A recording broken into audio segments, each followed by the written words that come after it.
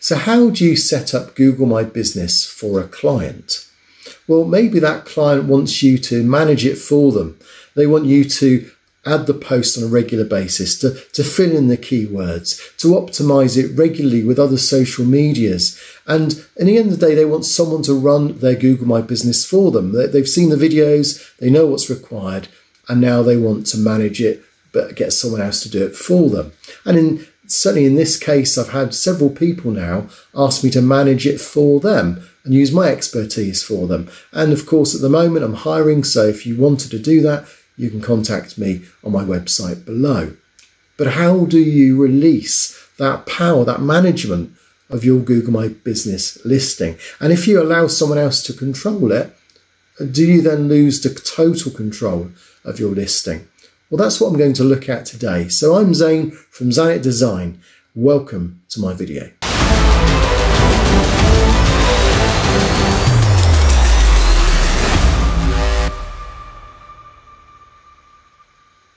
So I've recently had a lot of interest in trying to help people with their Google My Business locations and listings.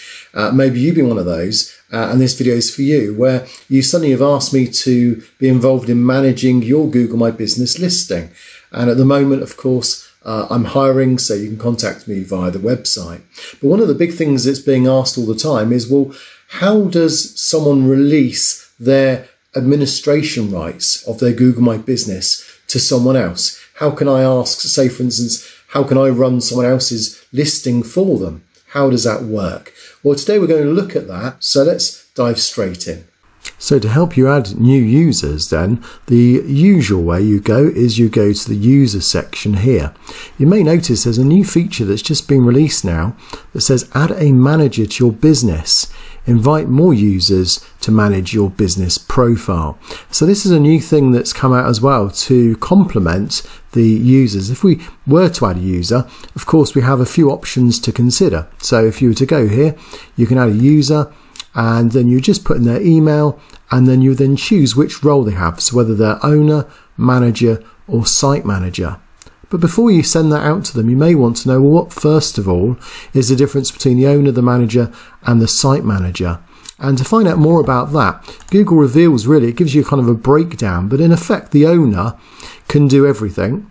And most people that will be running your business for you, if they're running your Google My Business and they're trying to uh, obviously keep it optimized for you, then certainly they would be able to share the ownership. And the reason why that comes into play is because being the owner doesn't mean that you have the total rights to overrule everything, because there's also a primary user. So you notice if I go back to here, the primary owner will always be the one who's registered it. And then after then, owners come next, then managers, and then finally, as we saw there, so let's just go back to the users on the roles, then you've got a site manager, a manager, and an owner. But Google do explain what these mean. And in effect, the site manager does about half the things. So they can add various attributes and phone numbers and make some changes to the cover photos, but they are quite limited on what they can do. They can't edit logos, for example. They can't change phone numbers or services. So if you're wanting someone to run your business, you certainly would want to consider giving them either owner or manager. And the two differences here is basically manager can actually add more users. So if they're part of a team, they might, want others to optimize it for you, or they can also remove business profiles. So they have a little bit more um, control being an owner than a manager, but there's not much between the two. And this is certainly a link that will be useful to look at before you decide on what you want to do. So how does it continue then? Well, that's one way, that's the standard way, which is for users here, but I'm going to look at the other way. So they want us to send an invitation. So let me send this invitation. I'm going to add a user and there you go. So with a Gmail address, that picks up straight away. And I'm going to give them the full rights because it's myself. It just gives me another option to edit it using a Gmail account. And I'll send the invite.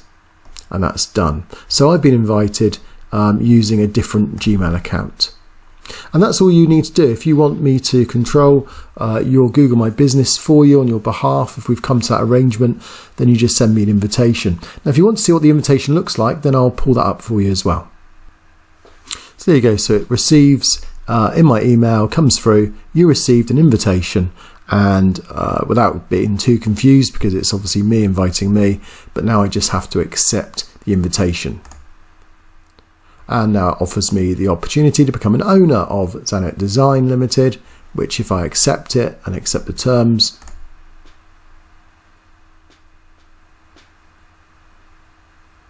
and now it gives me this welcoming uh, screen. Would you like to receive communications and personalized tips? Yes, I would. And then you get £80 of ad credit. Now it's just given me a few more things here to consider um, visit insights, view your business, download the app. So these are things that I can do personally as part of my plan.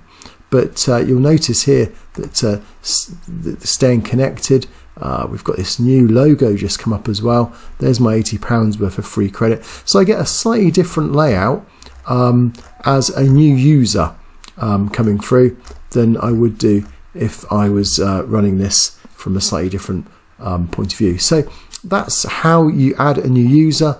If I go to users now, you'll see that there's two of us, but notice that the primary owner is Zane Clements, whereas I'm logged in and I'm just known as an owner. And I don't think I can become primary owner. Let's try. So that's a conversation that they would have to agree to beforehand. So you can become a primary owner, but that's not really necessary in this case. So hopefully that's explained how permissions work how you can get a new user to manage your Google My Business for you. And that's something that's pretty straightforward once you've got their email and they agree to it.